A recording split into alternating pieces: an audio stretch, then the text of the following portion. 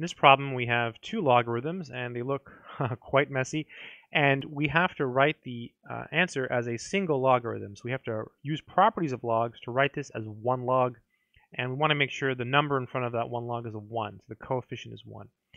So the main rule that we're going to be aiming to use in this problem is the quotient rule. It says if you have the log base b of x minus the log base b of y, this is the same thing as the log base b of x over y. So whenever you have a subtraction, it turns into a fraction. The problem is we have these numbers here in front of the logs. So we have to get rid of them. And so here's the strategy. So remember first that there are implied parentheses here. Okay, they weren't written in the original problem, so I, I didn't write them. Now, uh, keep in mind that whenever you have a number in front of a log like this, like this one, you can just put it there. You can just make it the exponent. Same thing here. You can take this one here and then just make it the exponent. That's called the power rule for logarithms. Okay, so let's do it. So this is the log base 3.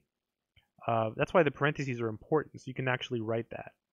16p to the fourth to the negative 3 fourths and then minus log base 3 of 8p cubed, and this will be 2 thirds. Okay, let's go ahead and, and simplify this. So how the simplification works here is you just raise each piece to the negative 3 fourths. Because if you have, say, ab to the n, the rule says you just get a to the n, b to the n. That's the property of exponents rule that we use. So this is log base 3 of 16 to the negative 3 fourths. And then it's going to be p to the 4 to the negative 3 fourths. Okay, so like I'll go ahead and write it. I was going to skip a step, but I will resist. I usually don't show the step. And this is in parentheses. Ridiculous. Minus log base 3 of 8 to the 2 thirds. And then this would be p cubed, and this is to the 2 thirds. The step I wanted to skip was, you know, you can just multiply these numbers here, right? So boom. And then same thing here, you can multiply these numbers here. So let's go ahead and simplify all of this before we use the quotient rule, right? Remember the quotient rule says it's just going to be log of this piece here divided by this piece here. But let's go ahead and, and clean up these inside pieces and then use um, our quotient rule. Um, actually, yeah, let's do that first. Yeah.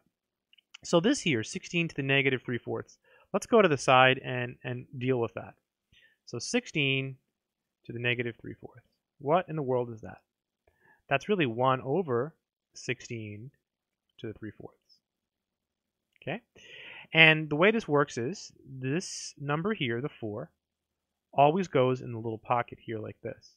So it goes here, the 16 goes here, and then you can put the 3 on the outside. The fourth root of 16 is 2, so you get 1 over 2 cubed, which is just 1 over 8. This will be the log, base 3 of 1 eighth. And then we talked about this, how you just multiply these. So the 4's cancel, so you get p to the negative 3. Minus log base 3. 8 to the 2 thirds, same deal. I'll do it up here on the top right. 8 to the 2 thirds. The number on the bottom, the 3, goes in the little pocket. So it goes here like this, and the 8 goes here. And then you can just put the 2 on the outside. And then um, cube root of 8 is 2. So you get 2 squared, so you get 4. So this will be 4. Then same thing here, 2 thirds times 3, the 3's cancel, so you get p squared. All right, that wasn't so bad. Pretty tough though, right? Pretty tough for uh, a problem, right? This is like you know, it's like pre-calc level. This is not this is not just basic algebra level. This is actually from a pre-calc book, I think. So log base 3. Now we're going to divide. So it'll be this divided by this. So it'll be 1 eighth p to the negative 3. That's in the numerator. Over 4 p squared, okay? 4p squared. So let's clean this up. So this will be log base 3.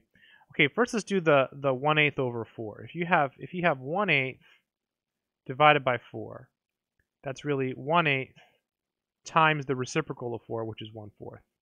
So you just get one over 32. So this will be a fraction, and we'll get a 32 on the bottom.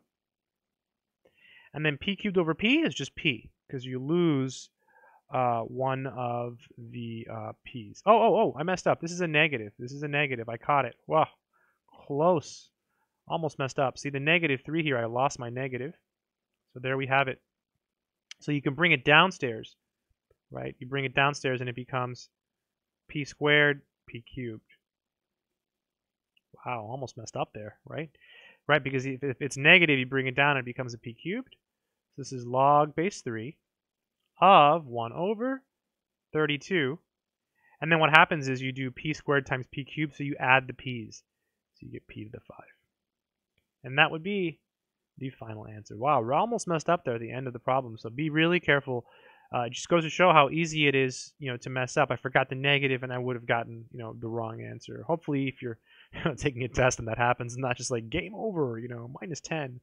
Um, you know, because we did a lot of work um, to get here. So uh, much, much harder problem uh, than some of the other examples uh, that we've been doing. So I hope this video uh, has been helpful to you. Good luck.